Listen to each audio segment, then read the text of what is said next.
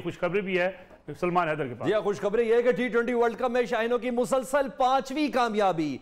पाकिस्तान ने ना हारने की एक लहर बरकरार रखी है। स्कॉटलैंड को हरा दिया है। ग्रुप मैचेस में नाकाबले शिकस्त रहने का एजाज हासिल रखा हुआ है। सेमीफाइनल में ऑस्ट्रेलिया से अब टाकरा होगा। यूँ गई है कि ग्रीन शर्ट्स ने स्कॉटलैंड को 190 रन का पहाड़ जैसा हदफ दिया, जिसके बहुत दूर दूर तक भी स्कॉटलैंड नज़र नहीं आई। आज के दिन की सिर्फ़ कारकर्दगी की बात करें तो कप्तान बाबर आज़म ने इवेंट में चौथी निस्फ सेंचुरी बनाई, जबकि शोएब मलिक ने सिर्फ़ 18 गेंदों पर चौवन रन बनाया आज का दिन क्रिकेट के लिए।